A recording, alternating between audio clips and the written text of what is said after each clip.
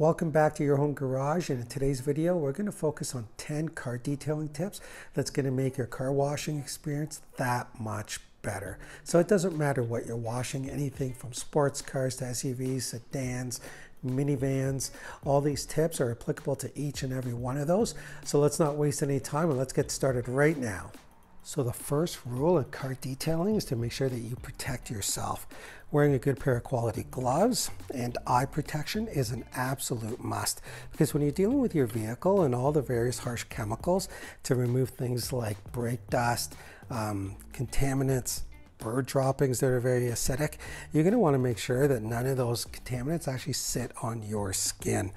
Especially when you're dealing with brake dust and wheel woolies or brushes like this can that can actually spray those contaminants back on you. I sometimes, depending on the application, go as far as wearing protective gear as well. So once again, protective gloves and eye care, an absolute must. Rule number two, Never use a dish soap to wash your vehicle. These are degreasers and they're meant for pots and pans and anything else inside the kitchen. This would actually strip the finish of your vehicle and remove that protective layer or coating. You're going to want to use something that's far more manufactured or fabricated for, for your paint and your vehicle, such as a car soap or shampoo. Again, I'm not endorsing these particular brands, but you're going to want to use something that's specifically made for your vehicle, not made for the inside of your house. So your third rule is to always make sure that you use clean microfiber mitts, towels, sponges on your vehicle at all times. You never want to reuse any of your dirty ones. Here's my dirty pot right here. And as you can see, some of these cloths already have a lot of debris or contamination on them. So I never want to use that to reapply all that dirt onto my clean surface. Always make sure that you use a clean set of towels on your vehicle during each and every wash. And I've got a video on how to clean your microfiber towels in case you're interested. I'll link it in the bottom or description of this video.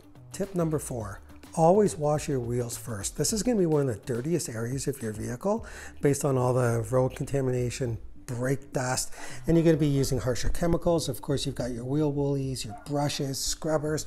That's going to get all that debris off of there. And if you've already cleaned your vehicle and then you go to the wheels, all you're doing is you're reapplying all those um, materials, brake dust, minerals, right back onto the body of your paint. So why do it? Save yourself some time and aggravation. Wash the wheels first, then move to the body. Tip number five is a two bucket system. So in your rinse bucket, you're gonna to want to make sure that you've got a grit guard. All right, so what that looks like is this. The dirt flows right through the bottom there and it gets trapped in between these flaps and it doesn't resurface right back into your cleaner or your rinse water. So what you're gonna do is after you wash your vehicle, you're gonna come you're gonna take your, your wash mitt, you're gonna scrub it towards the bottom, get all that debris out of the thick fibers, and then dunk it into your clean soapy water, and then continue washing, washing your vehicle with it. So again, at a minimum, two bucket system, and your rinse bucket needs to have a grit guard. Tip number six, always wash your vehicle in cooler temperatures. It is incredibly bright outside right now. And if I was to put my hand on this, this paint or body is incredibly hot um, to the touch. So as soon as I put water to it, I won't be able to manage the water properly. It'll start to evaporate and leave water stains or watermarks on that paint. May not be quite as noticeable on this particular color or white, but the reality is it's still gonna be there. If this was a dark or black paint, it'd be incredibly hard to hard to manage. So the best time to wash your vehicle is again avoid direct sunlight, but early morning, late afternoon, or evening, or much cooler temperatures, it'd be a much more enjoyable experience for you. Tip number seven, things that are acidic that sit in your paint and bake in the sun will only end up harming the protective layer and coating and your paint itself. So try to get that off as soon as possible with a nice wash.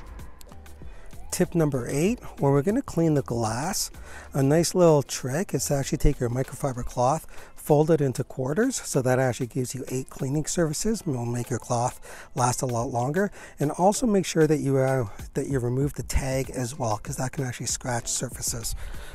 Rather than taking your product and spraying it on the glass itself where you can get all the overspray onto your onto your vinyl onto your leather and then you have to go back and clean that off.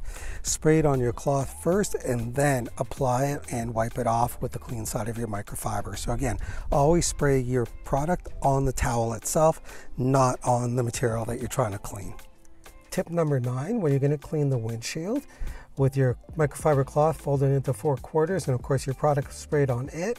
You're to turn your hand over. You're to be able to reach into one corner and then all the way over on the driver's side as well.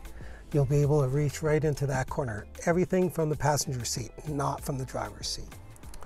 Tip number 10, never take the excess water that you have inside your buckets and just throw it on your vehicle. Even if it's your clean water bucket, just dispose of it properly because there's still small contaminants in there and there's no use in undoing all the hard work that you just did in terms of washing your vehicle by making it dirty again with all the debris inside of your clean bucket. So again, never use that water, just discard it. So hopefully you found the 10 hints and tips that we went through today incredibly beneficial and something that will make your car washing experience that much more enjoyable. Now I've got to wait a little while before I'm able to wash that RAV4 because it is incredibly hot out there. So hopefully you enjoyed today's video.